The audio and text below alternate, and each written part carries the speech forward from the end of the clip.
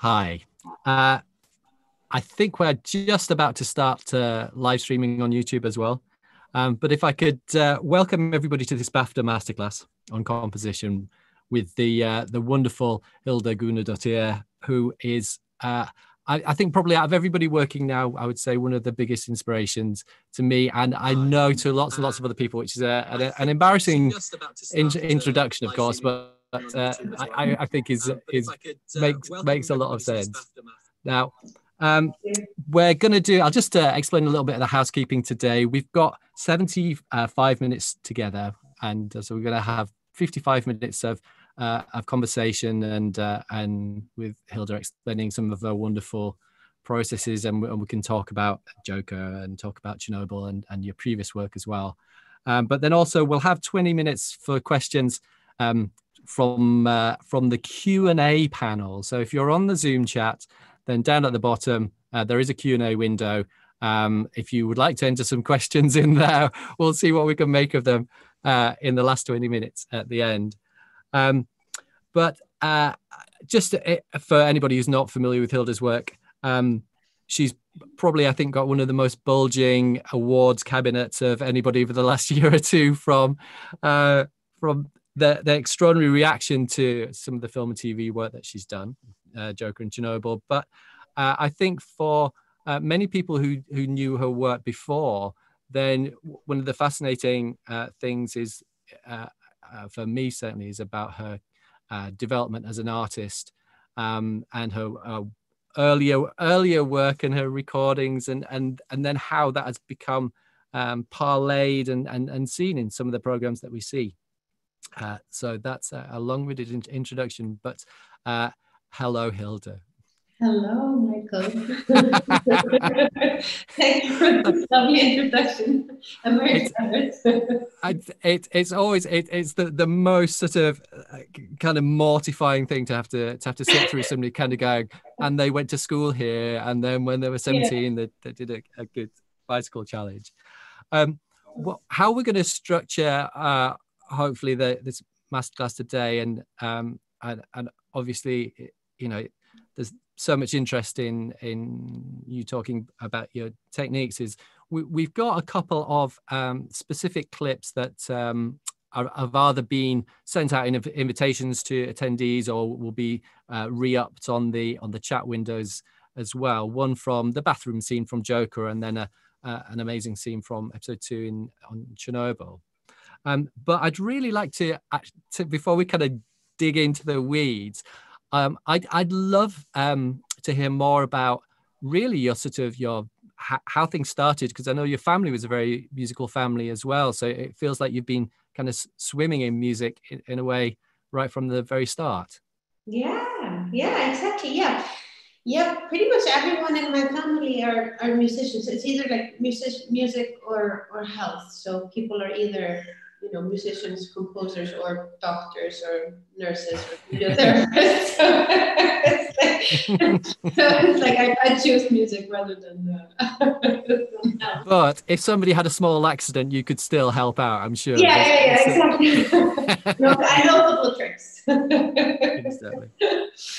But uh, yes, exactly. Music, music is a healer. I, I, I guess it's. Um, yeah, it's it's uh, it's it's it's sort of um, well, music has always been the, kind of the best parameter of my mental health, I guess. And well, actually, and also physical health. I think I think you need to be. Um, I think it's important to be um, connected to your body and connected to your joints specifically, like when you're making music. And I think that's. Uh, that's that's a part of my process that I that's that's very important and that I that I think is is not really talked about enough. That's the, the, the kind of the the how you need to nurture yourself to nurture the music and, and your body is such a big part of that even if you're just sitting there oh, i mean guess especially if you're sitting in front of your computer the whole day it's like it's um i find the way to to to access um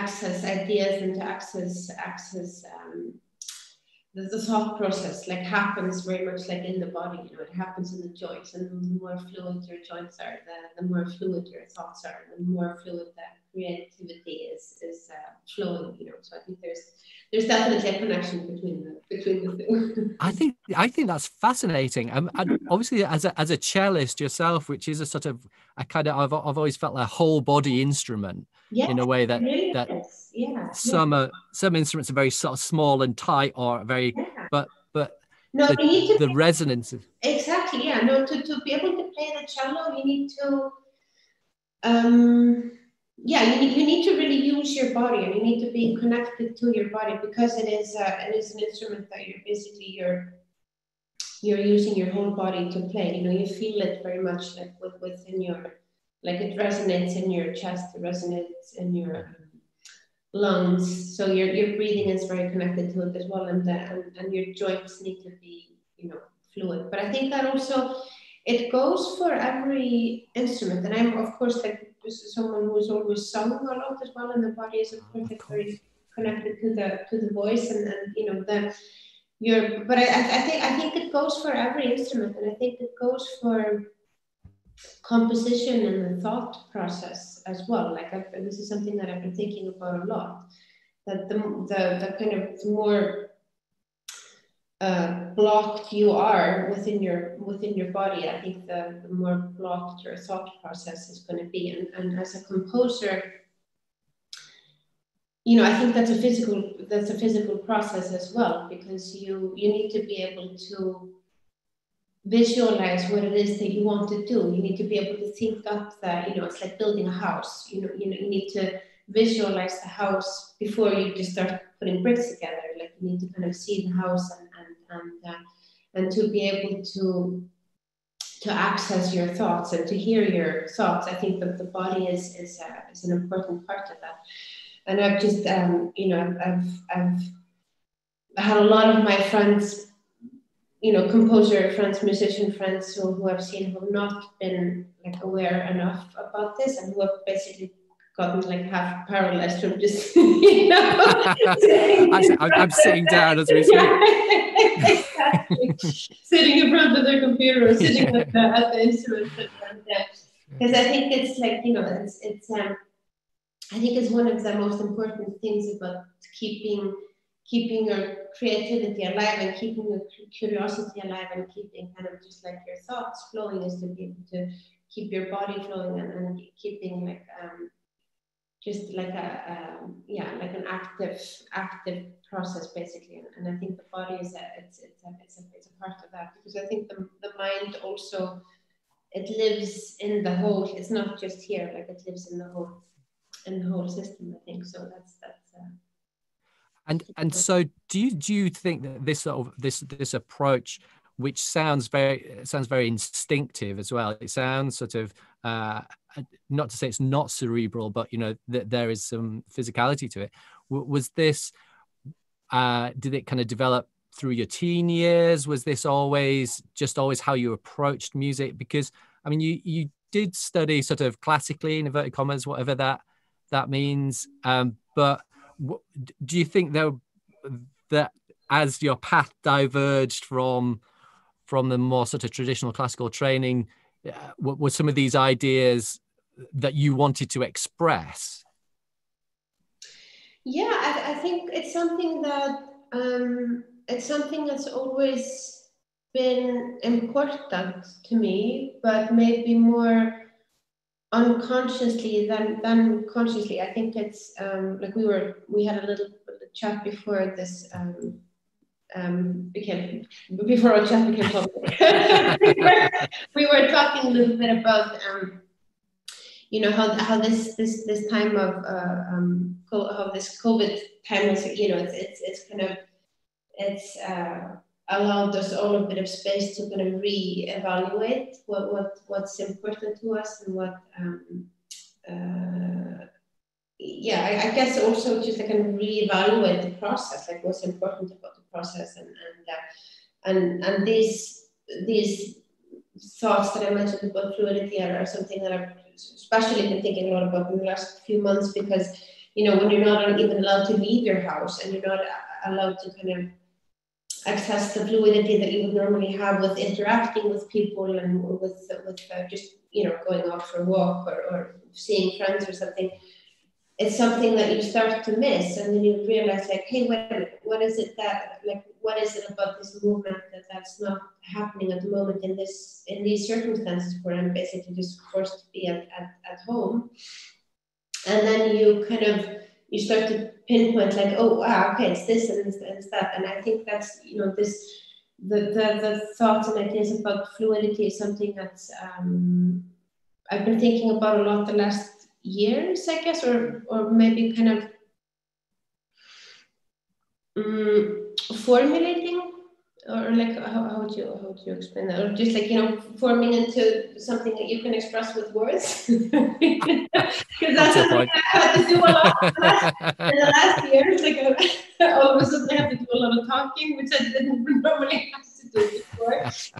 Um, and uh, but it's, it's something that's I think always been really important to me. And as, as someone from um, from Iceland where you know I, I grew up in a um, in the Icelandic music scene where, where it's it's um, you know when when I was when I started making music with my friends and my teams you know it was it was all about like dialogue and collaboration and we would just basically make music together because there basically wasn't anything else to do. so, it's very dark, you know. Yeah, exactly. Very dark and no internet and no, no way of getting out of the country or anything. You know? Nothing else to do basically. So so we all started making music together, like you know, bands like múm or Sigur Rós or you know these um, contemporaries, Icelandic contemporaries of mine.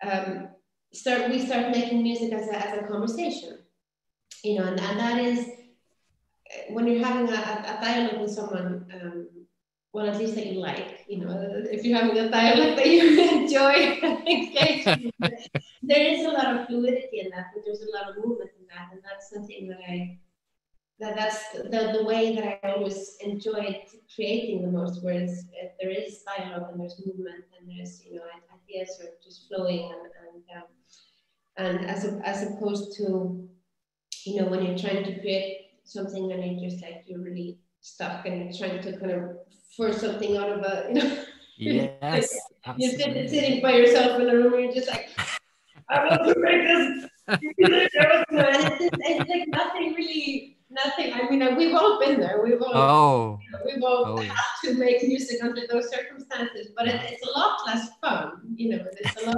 less creative it's more like kind of you know, banging your head against the wall. But and I think so, so I think this yeah. is a part of my process that's always been very present in my mm. music making and in my history. But it's something that I just kind of started to realize in the later years, like how important it is to me, and that it's actually yeah. um, the way that um, you know, the more you um, enjoy the process, and the more kind of fluid you can keep it, the more kind of you know enjoyable and alive you can keep the process, the more fun it is, and and and uh, you know the the more fun you have, the more it resonates with you, and then you know the more it resonates with you, it seemingly resonates with with other people as well, and you have a chance to kind of you know create like a bit bigger resonance, which which is uh, ultimately, I think what. Um, what you're trying to do when you when you make music you know you're trying to basically you're you're having a I, I see the whole process basically as both as just making music and, and working on films and, and collaborating. I mean it's whether you're having a dialogue with yourself in a room or or or, or director or whomever you're talking to it's it's all it's all a dialogue you know there's probably this one that's dialogue it's, all, it's I love and I think it's it's um yeah the more the more fun you have having that dialogue and the, the conversation that um, the the the um uh yeah the the the, the, the, the kind of it's, it's not really it's not so much about having like a, a wider audience like that's that's never really been important to me but but to feel that that what you're making is like it's it's moving people, like it's speaking to people, and you're you're able to have a have a resonant dialogue with with people that you're you'll never even meet. You know, it's it's such a beautiful thing about about music. It's like you know something that you know having a dialogue with yourself or whomever, and then you put a message in a bottle and throw it out, and then someone's gonna hear it or or, yeah. or you know resonate with it, and, and that's and it's gonna speak to them, and that's like you know it's such beautiful, such a beautiful process. I, you know, I think that's absolutely fascinating because, um, you know, we're, we're going to look um, at a couple of the specific projects in a moment, but I think what um, for me anyways is incredibly illuminating is to hear you describe that process of flow and communication and collaboration because it feels like you've managed to bring that and, and maybe you'll be able to tell us bring that intact into uh, these films or, or, TV shows that that have reached a, a very wide audience. But I think uh, certainly from the from the outside, if people first got to know your work through, say, Joker, which was obviously you know sort of a, a global success, then I think imagining that that you had sort of set your sights on on writing Joker and just studied and that I think is to is to uh, sort of misinterpret and and and not to understand you as an artist and and you as a person. Um, and maybe and maybe we can move on to onto Joker now because I I um I think we've probably all read some of the the backstory of of how you um uh, how you were writing before and how your your process wasn't necessarily just a traditional uh, here's the film you've got four weeks off you go. The orchestra's, you know, waiting for you a, a week on Friday. Um, had you worked with Todd, the director, before? How, how, what was your entry point into the into the film? Yeah, no, I'd never worked with him before. I, I basically, I was he um, he sent me a, a, an email and um, said that he really loved my music and asked me if I was interested. Did it? It could have gone in your spam folder, and then it would have all been very different. exactly. You. No, I. Uh, um, yeah, and, and to be honest, I was like, you know, initially I was like, well, I don't really, you know, because I just, you know, remembered seeing the Batman films, and I was like, well, am I? Am I the right person to be making a superhero film? Like, I'm not really sure. so, so, so, I like initially when we um, when we spoke, I was I was kind of like, you know, just told him like straight out, like if you know if if you wanted to make an action movie, I'm not sure I'm the right person. For yeah. Because I'm not really, you know, I'm, I'm not really super interested in that um, and the kind of uh, well, I mean, it's, it's pre- prejudice as well of, of, me, but but I'm not really somehow yeah. interested in kind of fast-paced, like um, okay. fast delivery, fast like thinking. You know, it's, it's not. It's, it's kind of. I'm a pretty slow person, so so I like to take time to to be able to dive into things and be like you know go into the details and and um, so so my initial kind of reaction was just like, "Oh, are you sure?" and then he just he said um, he was just like, no, read the script and then you'll understand. And uh, so so he sent me the script and I read it and I just loved it. I just really, I just completely fell in love with the story that he um, that he was that he was portraying and, and the kind of the character study that that he um, that he was he was doing with his character because it's, it's such an interesting aspect as well because it's, it's like it has this kind of whole history of, of, about it, like this. Um, so I'm just to close the door my, my son can close the door. I Bring him in. More the merrier.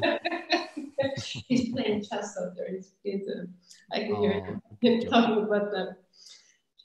But um, uh, yeah, so, so I was just I was really intrigued by this um, by the um, the history of the character and how much this this character means to such a wide audience. Like it's it's it's people like I don't remember any like villain in, in cinema history that um, or or even like beyond cinema, just like literature history as well, comic history, like you know, a character that people feel so strongly about and that people yeah feel so strongly about both him as a character and also um, portrayals of his character that we've had, you know, that people just seem to like, you know, feel so strongly about. And it's really interesting to to take a character like that that's so deeply rooted um, uh, for for people. You know, it means a lot to so many people, um,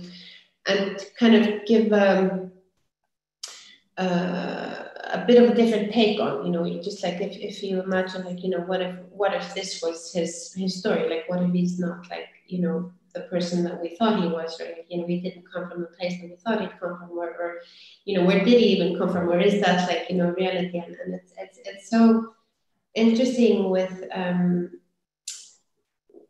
with, with characters like that, that have, that have had, had, you know, they've lived their own lives, like, like real lives yeah. with, with, with uh, how they've resonated with people. And I, I find that really interesting and I, I just found it really such a fascinating process to be a part of and a, and a fascinating way of, of, of, storytelling because it's um, you know when you when you read the book and you you've invested so many hours with the characters that you're reading about and you start to like really feel for them and, and you start to really kind of you know, know the characters and, and, and kind of uh, yeah just resonate with them. And, and, then you know when you finish the book you're just sad to have to leave those those people behind you know? And i guess we or i hope we've all had this feeling because that's the magic of, of literature. And then we have this through cinema or, or and, and, comics or you know so you have this combination of, of, of, of you know this, this huge outreach of, of both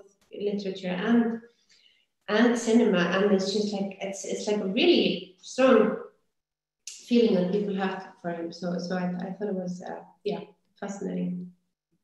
And if we uh, look at um, uh, perhaps specifically the the bathroom scene, um, which is uh, at a pivotal moment in the film when when Joker has really just sort of uh, kind of exploded. It's like the initiating action where he's he's shot. For, for anybody who hasn't seen it, spoiler alert, when he's uh, shot kind of you know the the violence inside him is broken out and he shot the guys on the train and and then he runs through the streets and then comes into the scene as as everybody will have will have seen the clip now um, in terms of your actual sort of composition process for this was that a pre-existing piece that you'd written at the script stage that then todd played and tracked in? And if it was did you change it again at the end? Did you re-record? How how would you say you got from no music to there being music in that scene? Yeah. No i mean that was really the um, this scene is really one of the most kind of well it's, it's really one of the most magical um, moments of collaboration that i've had this this scene specifically because mm so, so Todd sent me the script and uh, asked me to uh, read it and, and, just to see if I even liked it. And, and I really, like I said, I really loved it. And then he asked me to, he asked me to start writing music just based on, on my feelings of the script and, and, and you know, just kind of what I, he, he basically wanted to hear what I felt from the, from, from reading the script. And, and, uh, and he didn't really give me any sort of instructions or he didn't really, you know, he wasn't very specific about, anything but like to want to go into his head. And I think it was also clear from the script was that we really needed to we needed to follow him, like we needed to be inside him to, to, to kind of feel what he was uh, feeling. And uh, so I I wrote a bunch of music and and um, and he just he loved it. You know, he we just really it really resonated with him what I had written. So we were just it was one of these just really magical moments of of uh, just complete um, kind of understanding of, of each other's like um, experiences and and it was just so great to be able to have that dialogue without any words you know be able to be able to just um, I mean apart from the words that were in the script but we didn't you know no real need for like explanations or anything like that and then and then he took, took this music that I'd written and uh, um, and played it on set. So he basically, like in the bathroom dance scene, Joaquin is responding to this actual music that we hear um, uh, in the scene, and it's it's it's pretty much it's, it's like pretty much identical to what I to what I wrote in the, in the first place, but but like re I re-recorded the orchestra parts and and, and uh, added some vocals uh, afterward. But um, but so basically, Joaquin was able to really respond in real time to to the music, and the music was able to lead him through this through the transformation, and, the, and then the you know the cinematographer was able to just you know follow Joaquin's lead. So basically, it's like this this big kind of dance together where you know Joaquin could just like be led by the music, and, and everyone on set basically was just like you know going going with Joaquin, and, and this this incredible scene just you know came out of it. And then when they sent it to me, I was because um, uh, this was one of the kind of first scenes that they shot, and it was first scene they uh, sent to me from from the set, like from the dailies and it was just so magical to see mm. that Joaquin was basically embodying what I had felt like from, from reading the script. And it was just like so, because I had somehow felt these movements like like really similarly, but they're not scripted like this. Like in this scene in particular, it's just like he's supposed to throw away the or like hide the gun and say like "oh shit" or something like that. You know, it's like there's, yeah. there's nothing. There like was no scene. no dancing.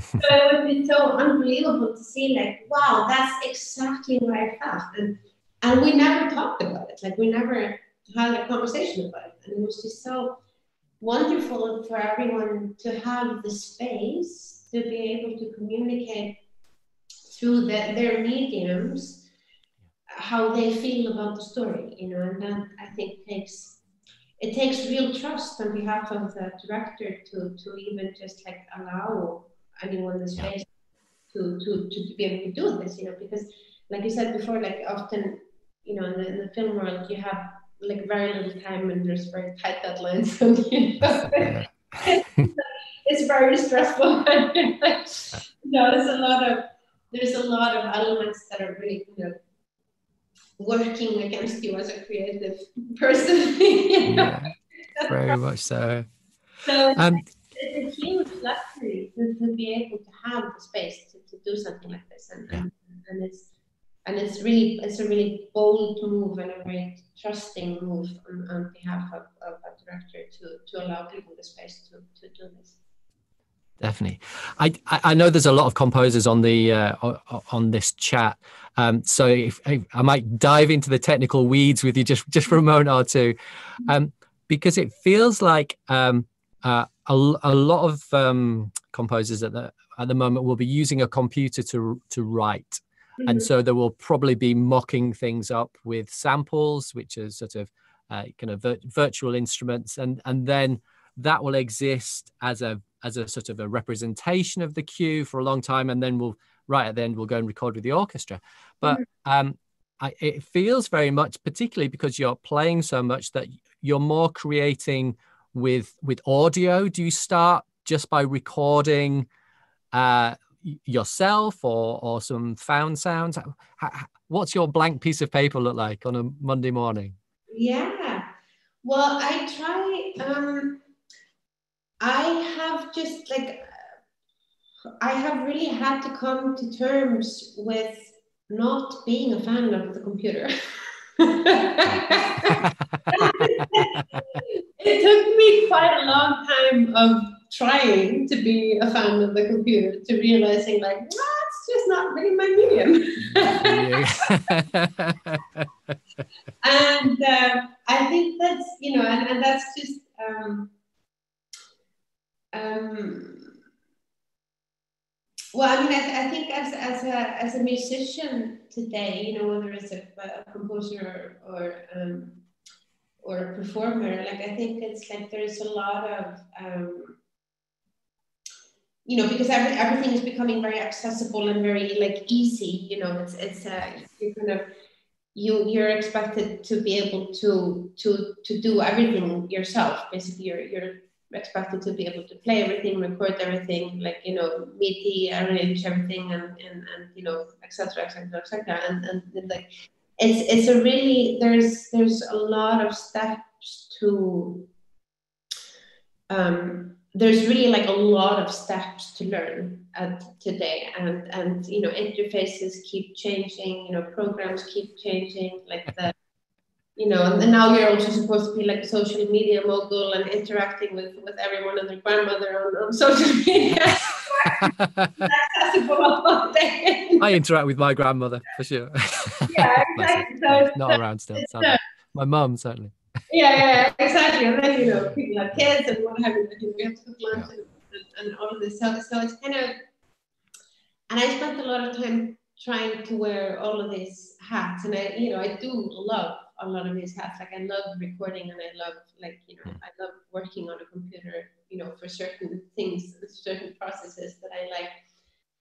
And um, but I had to kind of especially in the last years, I, I, I, I just I gave myself the space to kind of re um, evaluate my creative process and just kind of um, yeah allow myself the space to not compose on a keyboard with with, uh, with an orchestra sample bank because I just don't find that inspiring and I don't find click tracks inspiring and I and I you know I I, I love to um, that, that's the sound of people cheering, by the way. Yeah, right. It's the, the sound of a thousand people going, "I wish, come on!"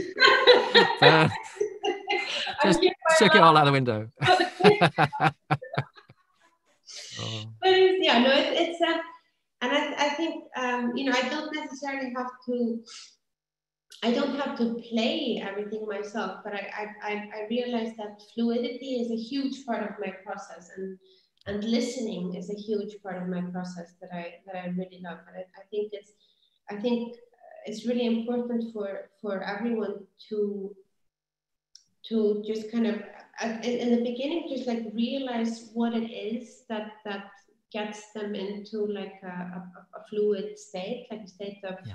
fluid creativity and and and accept that that might not be like you know the keyboard and your sample banks you know and that's yeah. totally okay you know it's like it's like totally, totally okay. It's not the law it's not the law that you have to use sample no exactly. And i think I, I, there's so many there's so many interfaces as well that are that are now available that that allow you to access your sample banks that are not the keyboard for example and those, those ah interesting yeah, yeah. exactly and and that's and that's something that i that i really enjoy as well like you know interfaces that are just a bit more fluid you know that, that yeah. allow for um uh you know tuning also not to be i I, I, would, I was going to say I, uh, about tuning, and, and this is uh, me being totally geeky, is, yeah. is that there's uh, uh the sense of intonation. So, for instance, I, I think the, the the bathroom scene is a is a perfect example. Yeah. That the the tuning of those uh, initial cello notes, which yeah. are played, you know, very much without vibrato, almost like a, a viol. You know, they, they have a sort of almost medieval timbre, but yeah. then be, because, I mean, it it it where the fourth sits and where the fifth sits and and and the sort of like the the way those chords are voiced, they they wouldn't sound the same if you just played them on a cello sample that was all tuned perfectly to 440. it's missing a whole human connection. That's exactly it. Because like I think for for for me, like I'm I'm I'm just so like I, I really like love the, the the microscopic details. Like I really just like and that's where that's where my heart beats that that the strongest. Like that's where my real passion lies. Is just like being able to just like look through a microscope to those to those tiny little details, like the vibrato and like the intonation. I think like intonation, like there's so much that you can express with intonation that's not just like um, um absolute, yeah. you know, well, I, mean, equal tempered, straight down the on the on the grid, so to speak. Yeah. You know, yeah. piano um, piano tuning, and and that's um, and and that's really where where where I think like a lot of the um, a lot of the feelings lie that we are so kind of starving for today like because today i mean it's, it's all about like you know pop music today it's, it's all completely sterilized and it's all completely auto-tuned and to, to be able to just like hear hear this this this the, the these like tiny movements like the tiny movements of, of just like you know notes just like stretching themselves like with with within uh, within the intonation or or just like slightly moving. And there's so much there's so much expression within those microscopic um, details that you can't get like on a you know played on a keyboard and that and that's why I just like I I, I uh, I've, I've kind of just stepped away from that entirely and I stopped fooling myself that I that I've that. Don't beat yourself up, it's fine. There's plenty of other people doing that. You don't need anybody else doing it. It was such a um, it was such like such a relief when I allowed myself the space to do it. And I was like, oh. wait a minute, like why do I you know, I permission permission not to do terrible mock-ups all day and sit in front of a computer. Um, people, I, there's people that do that so well. You know, I'm not saying that. Oh yeah. yeah. Just, but I think it's really it's just such a relief when you allow yourself the space to actually use the, the methods that you find personally that you find inspiring and it, you know like you know that's completely different for for every person and i think that's so beautiful to to you know that, that everyone is allowed the space to to have those those different voices and to have those different intonations and you know definitely um, if we move on to Chernobyl, um, which I, I rewatched the whole series. I, I watched it first time, but rewatched it uh, over the last couple of days, and and to be put back into that extraordinarily visceral, tense, uh, so kind of tragic in, in in the sense of people's fates are spread out into the future. You know from the moment that they come into contact with any of the radiation that you, you each each of the people you see on screen has got a, has got a, a tragic future ahead of them. But I I, I wanted to uh, to talk about how you created the um, the cues and the and, and the sort of soundscapes, but perhaps with with relation to uh, to collaboration and bringing us back a little bit to to where we started, because um, in terms of uh, perhaps working with uh, sound recordists like Chris Watson, who who again I've uh, met and who, who is an absolute a, a legend, because the uh, the sort of the, the the big picture of going to record in a in the disused nuclear power plant that they that they filmed in afterwards. Um, it, it's the sort of thing that it's a great idea to have, but it's not always possible to pull off that well. I think, and and you, you seem to have around you a team of uh, long-term collaborators uh, because you must have known Chris from Touch uh, way way back and and then working with Francesco and and Sam I guess as well and you know the sort of um, c- could you could you tell us how sort of almost practically what that process was like to, to to go and listen and record and then make music from the, the sounds yeah yeah so it was um um it was really clear that you know Chernobyl um, you know, I was working on both of them at the same time. So I, I, I, sp- I spent quite a bit of time like um, uh, thinking about like what was what was um, different between between these worlds. And, and, Chernobyl, of course, is, is, is an event that affected so many people um, that are still very much alive today. And such an important, like I, I, think one of the more important like historical events of, of our like, later history. And um, and it had such yeah, just such a huge impact on so many people that we uh, you know that we all know. You know, people that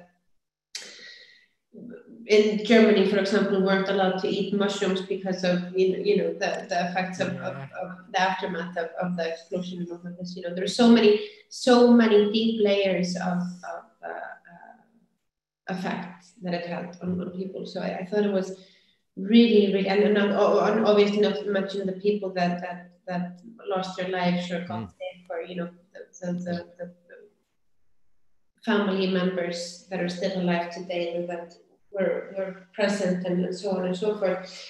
You know, I thought it was really important to be as honest as possible about what happened there and to not um, like over dramatize like what happened and not sort of like sensationalize it. and um, um, you know, so, so I, I just thought that the, that it was really important that the space itself got um, a real place and a real voice, like in the um, in the story, and that and that the space had to be like real, the, um, and that the radiation, which of course is like one of the biggest characters in this mm. story, that the radiation also had like a voice because radiation, of course, is like we can't see it and we can't film it and we can't. Uh, capture it, but but we can somehow feel it and we can sense it. And I felt that the radiation really needed to be real and it needed to be present. And uh, so it seemed like very obvious that, that to just go there and to understand also myself a bit better, like what radiation feels like and what it what it is, and and um, you know to, to be able to to, to form any sort of opinion for myself about what it is. You know, I had to kind of experience it. So so so I went there with Chris and and uh, and Sam um, to just basically listen to the space and just try to understand the space through sound and, and uh, experience it. And and uh, so we we recorded like hours and hours of of this uh, power plant, not knowing at all if this was going to be material that we could use. Is this a bad idea? Probably. Yeah, exactly.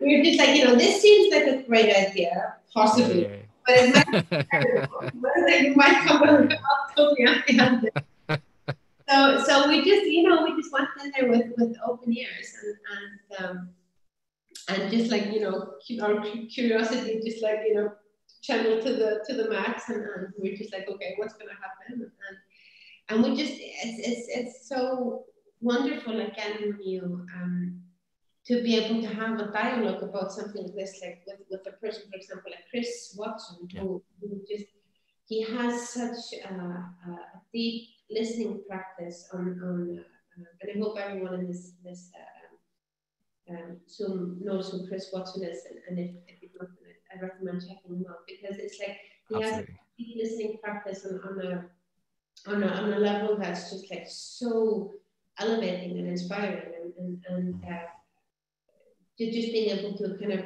experience sound with him and, and just like how it excites him and it's just like it's enough to fire up the whole you know the whole power plant you know he could, he could do it his uh, enthusiasm wow.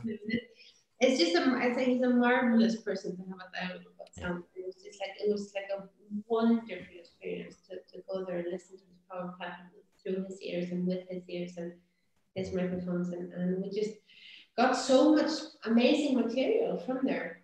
So we managed to to um, to create the whole score out of, of these recordings entirely. So so and that process basically, I mean, it was again like it was a very long and drawn out process because it, it, it required a lot of patience and it, required like a lot of lot of listening and, and like detailed listening and, and trial and error and, and you know. But it was it was I, I just I felt that this process and this story it really needed that attention to the actual facts to the actual details. Of how this space sounds like and how radiation sounds like. And, and so we so I like took these re recordings and then and then um, just listened in extreme detail to to all of them to every single second, and then you know picked up snippets of the here and there which were possible musical material, and then like stripped them, you know, moved them in the frequency spectrum to to to places that could be like you know work with and and and uh, you know so so there were like some like snippets that were completely like inaudible that I. Yeah, that yeah the stress out. Yeah, yeah, yeah. Yeah. So it was like a, it was a completely, it was like as as far away from from from the Joker process as possible. like you know, it was it was completely like microscopic. yes. I, I...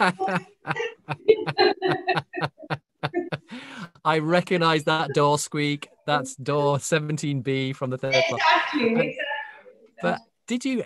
So if we if we take as a for instance, because uh, there's it, it sounds like you enjoy very much these long periods of of exploration, and but then th- there comes the day of reckoning where episode two needs locking and it needs to all be sort of sent to the dub if we look, for instance, at, at, the cue that we just picked out, which again is as another sort of sensational uh, piece piece of drama, it, it, it's it's not so much that um, necessarily that sort of virtuoso scoring with a massive orchestra hopping up and down.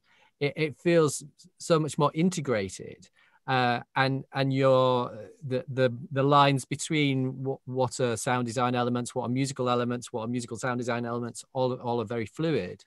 Um, but if if you took a scene like that, would you be starting with with effectively just that two three minute sequence, and would you then start to play sounds? uh to to fit or do were you taking a cue that you'd written before putting the cue on and then shaping it? What what was your sort of uh, in the weeds process, cue by cue? So I mean, this the um, it took a really long time for Chernobyl to, to find the right way of using the sound or like to use the, you know, the right way into the music took, took a really long time.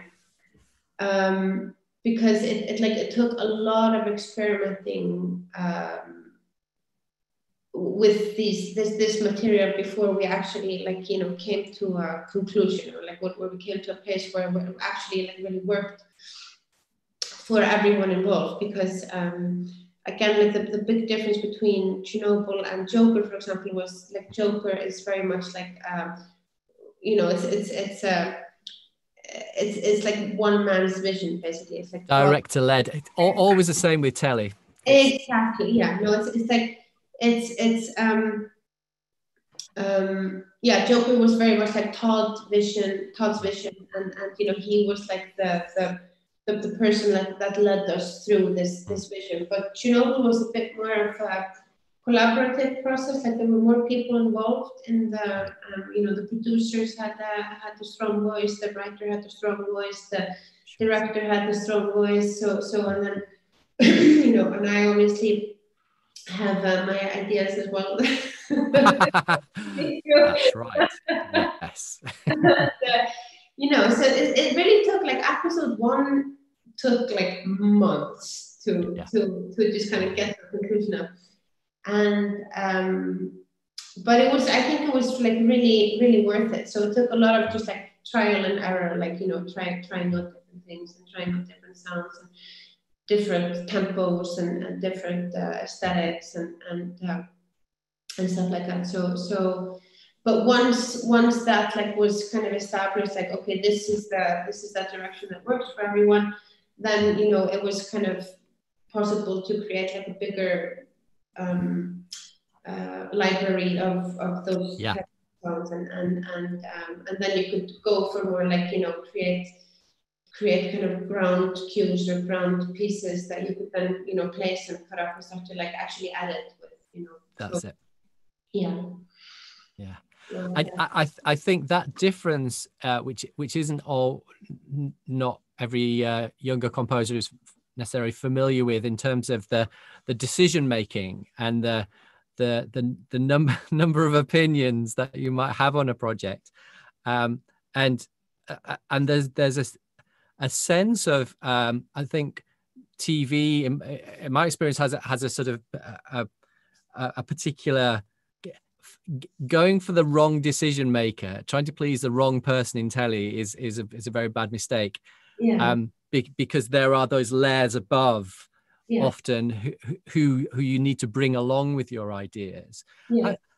Uh, have you found over the projects that you've done that you um, have have developed any sort of political strategies, or do you just try and stay just open and communicative, or do you let other people do that and do the late night phone calls?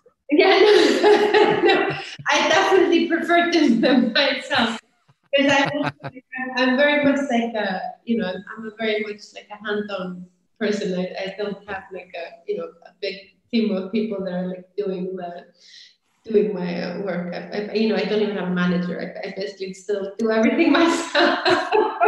I'm trying to wear all those hats that I was speaking about. That's right. Get yourself a nice manager. Never have to work again. exactly.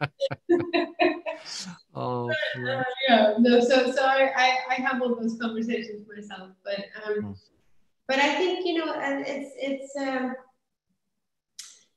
you know that's kind of the it's it's the, the, the complicated and the interesting thing about working within this medium, like with working with uh, film and television, is that the productions are so big. You know, yeah. or I mean, it can be, it, yeah. rapidly, but it is um, it is always like no matter the scope even of the production like it is always such um, a big dialogue that you're having and, and you're having um, uh, often like you know a big dialogue in the sense of like you know over an extended time or also like with a lot of people and a lot of people with very sometimes like very different ideas. And the music is of course like the element um, that you can change the most like in the least amount of least amount of time latest in so this uh, this dialogue can easily become like very heated in the you know in the last in the last stages and you know there's a lot of a lot of things that can change very fast in the in those in those last um, in those last uh, how, how do you do how do you do, do, you find do you, did you find yourself getting unsettled on either of those projects do you do you have I, am I'm, I'm smoothly segueing into into some questions because there have been some wonderful wonderful questions uh, in on YouTube and on, on the Zoom chat, mm-hmm. and uh, there's uh, from John uh, uh Kudunis um, uh, from Australia says, have you uh, developed any daily rituals to get you into that fluid state mentally and physically? And and I think that the the uh, the subject broadly of mental health and dealing particularly with those pinch points that you describe because it does get a bit tasty sometimes. Yes, no, I mean this is exactly like this is exactly it. Like this is where it really um, where it is like vital to be um, uh, feeling good yourself for those yeah. oh, yeah. because um, uh, you also have to be very careful not to be because like i said like you know these these uh, these last minute conversations can can easily become very heated and and um, it's very important to not like uh, react too fast or too strongly to situations like that and to be able to to distance yourself from from like you know snappy reactions like you have to be able to kind of create a gap between between yeah. response and stimuli you know and um totally. so so yes i do have uh, i do have a pretty uh, uh, strong both yoga and meditation process which i think is uh, has definitely been key. Sometimes the only thing that keeps any of us together, isn't it? Really, it's just like, oh, exactly, exactly. I think it's, I think you know, yoga is just so. It's such a magical tool of, of accessing, you know, just to, to creating fluidity in your joints and creating fluidity in, in, in uh, uh, yeah, in your in your thoughts and, and you know, extending this gap um, between yeah response and stimuli and, and meditating being being a part of that praxis is, is uh, is also like I, I found to be like very, very, very, very valuable in, in, in, that, in that in that whole process. And I think like also the, the more you can bring it into um, into just like the um, up, being like a part of your creative process, and you, when you start to uh, recognize how valuable it is, um, both with your inner dialogue and, and your dialogue with other people, then the more you kind of can, uh, can, can yeah you can basically take it into the into the whole uh, equation. Um, I, to- I totally agree, and that reminds me to start meditating again because I stopped when we had our last baby, and I, am broken now. It's all gone. it's all gone. my head's not in the right place. Um, that, again, so many, so many beautiful questions. I'm going to sort of like stick a couple of uh, them together here. This is a, from Catherine on YouTube, and and she just says, "Are there any?"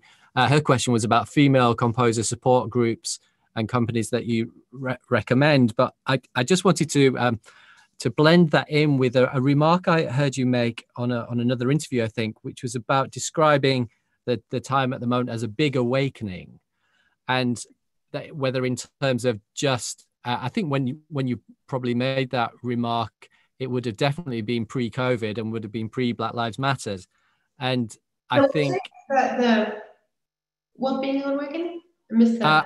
Uh, it, it, was it was just a, a, phrase that you used where you described the sort of the, the change in after the Me Too movement yes, Me Too, um, yeah. as as a, a, a big awakening, yeah. and it's um and without sort of you know wanting to kind of uh, count count numbers or sort of go back and go who first won what when. Uh, mm-hmm. Uh, I was just interested in your your experiences as a woman composer right now. Yeah, yeah, exactly. No, I I, I felt a huge difference um, uh, because like I've been, I mean, I've been working uh, as a musician for I mean, a, a lot of years. Don't never count. Never count. That's to say, like a lot of years. yeah, yeah, yeah. I've been a few working with, uh, uh, you know, within within film and TV for like you know over a decade, and and uh, I think to to to a lot of people it might seem like I just came out of nowhere, but but like that. Um, because like all of a sudden I became very visible, and that's also like you know very surprising for myself. but um, you know, because as a person that's just been like, you know, I've just been kind of staying with my practice for, I mean, I guess like almost 20 years. I've just been like, you know, going my route like very slowly but very steadily, and then and then uh, and that the same goes for film and, and TV. And um, I think like you know the the the the, the general vibe that I came across like as a, as a female film composer, even just like as a, as a female composer, it was like it was um, I often came from a place of people just being like a like very surprised that I was writing music or that I wrote this music myself. You know, that was like a comment that I would get a lot. It was like, and, and you just wrote this yourself, you know, which is something that that it was too heavy for you to pick up. Maybe yeah, it was just. and what is like you just it's, it's, it's, something that I'm expecting, like you know, a, a guy would never probably hear. You know? yeah, yeah, yeah.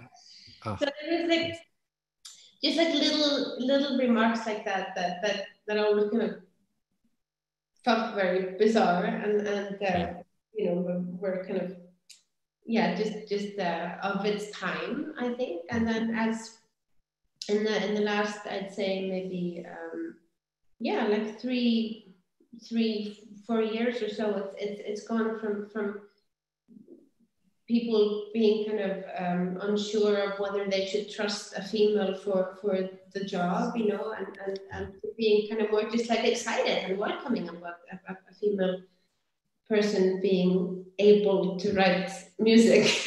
And I think all, the, discussion that came around me too, and just like the the um, um, but, but again, like it's not that I was like you know I wasn't sexually harassed or anything like that. Like I wasn't like hmm. Um, uh, um, uh, like I didn't I didn't experience anything directly related to me too, but just as the I mean the discussion uh, um, that happened around it and, and just like the discussion of, of, of the lack of, of, of, presence of women in the industry in general, I think just, just made a lot of people realize like, wait a minute, there's 1% women composers in the universe, like writing, uh, writing this, you know, music to these thousands of films that are, that are being produced. And it's just like, when you start seeing these statistics, you just kind of, it just makes you kind of you wake up a little bit and you just start to realize like wait a minute that is that is very odd and that that should not be like that because i think in an in an industry where um, which is all about storytelling and it's all about telling every story under the sun. I mean, obviously, you would want to have every voice under the sun to be able to, to into, into the, the, storytelling because the more the more point of views you have on, on storytelling, the more you know exciting it is, and the more rich it is, and the more you know we get to experience. And, and so obviously, we should you know welcome that. And I, and I think that and I, I, I mean, I hope that the same is happening with. Um, with the awakening that's happening for for for um, colored people as well at the moment. You know, there's a very strong, you know, people are just like they're they're tired and they're, they're, they they want to have a place and and, and, and a voice and, and, and, yeah a place for their voice to be heard you know in, in, in society. And, and I think that's just something that should just be celebrated. And, and I hope it is and I hope it will be. Definitely Ah, bravo. Um, could I? I'm going to join a few more questions together and ask you about life in Berlin. So um, obviously, uh, Iceland was originally home, but you you've settled in Berlin and been there for uh, for how many years now? For quite again, quite a few. Quite a few. I think it's been uh, um, yeah something like 17 years or something. I mean, not that anyone's something, but something like that. That's it. And and um, there's been a couple of questions asking about Johan and the uh, obviously greatly greatly missed, and um, it, in a way maybe a sort of frame those uh, questions about what it was like to to work with him in the wider context of what it was like and what it is like to be part of a musical community in in Berlin itself having, I mean, we, we, we know some of the same wonderful people and uh, worked in, in some of those places. And, and it feels like there is, um, there's a, a, a collaborative spirit with not just some of the composers like Dustin O'Halloran when he was there or, or Johan that people might be more familiar with, but but a whole wonderful community in Berlin. Maybe I'm painting a rose tinted picture. Maybe maybe everybody hates each other. Just like, get out, Francesco. No, definitely not. No, I think um, um, yeah, I mean it stems very much from the same the same place. I mean, as as I talked about in the beginning, you know. Um, like Johan and I, obviously, we met each other in Iceland in the 90s. And uh, so we are very much like, you know, the part of the same, um, we're very much a part of the same uh, group of friends and group of musicians that were just, yeah. yeah, experimenting and collaborating and having a dialogue and hanging out. And, and, and um, so we were, uh, yeah, we started collaborating like in the, in the 90s, um, just through through that uh, group of people. And and uh, um, and then in 2003 we, we started like our our first like duo collaboration. Like we, we just like had a recording session in his kitchen where, where we were like you know trying out ideas. And um, and we basically just never stopped. We we just we really kind of you know in each other found our musical soulmates, you know, and, and uh, so we just continued collaborating since since that since that kitchen recording in, in 2003 until that until the very last day, and it's and it's very you know very uh, all those people you mentioned like Dustin and Francesco and, and like all of those people are are um, you know also a part of that dialogue. So I so I moved to Berlin in 2003 as well, and and um, uh, so I met um, Dustin and Francesco here, and um, Johan was he moved to he moved to Copenhagen, and then came to Berlin. Um, I forget what year it was. Maybe well, it was 2000 or something. 2000 no time. 11 or something that either.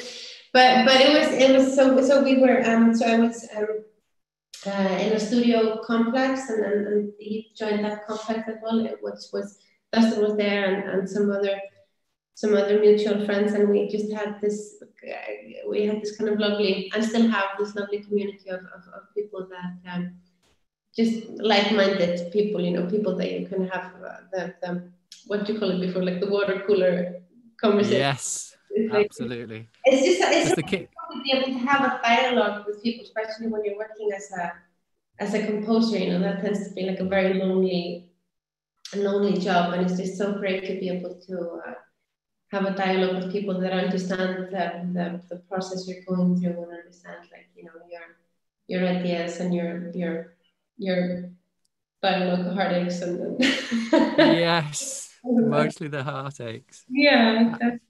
um we've had a question uh this we're, we're sadly very sadly coming uh sort of reasonably close to the end, to end of our time together which is uh for me a personal a personal shame because i i think many of your ideas that you embody about flow and improvisation and collaboration are, are, are really important. Um, and and I think your extraordinary and well-deserved success. One of the byproducts of that is that these ideas, which are which I think are uh, are crucial and a great antidote to some of the sort of kind of harsher ways of living in film composing, uh, necessarily get more attention, which is is something that I'm very uh, grateful for you for being so brilliant and uh, and making them sort of letting these ideas have, have the attention that they have. Um, but the, the, the final questions will be the traditional sort of uh, career advice questions, which I always find confusing because it's like, what would you say to somebody who was just starting out? But if you're just starting out, it it's such a vulnerable time. It's so sort of trying to find. There, there was several questions about uh, finding your own voice because I think you embody that uh, beautifully. Uh, but there's a question here from from Sophie Lloyd, uh, just the second part of the question, which said if you could uh, tell your younger self one thing about female composers, what would it be? Or, or just to broaden that out, if you could just tell your younger self uh, anything useful that you've that you've learned, how how might that look?